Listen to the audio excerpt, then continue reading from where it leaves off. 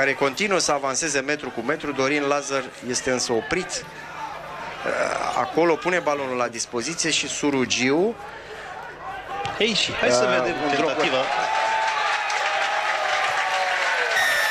Da. Uh, aceasta în engleză se numește a shot to nothing. În sensul că dacă rata, primea lovitură de pedeapsă. Deci uh, putea să-și permită luxul să... A avut această opțiune, a, a judecat perfect, a avut da. uh, și o execuție foarte bună Vlaicu.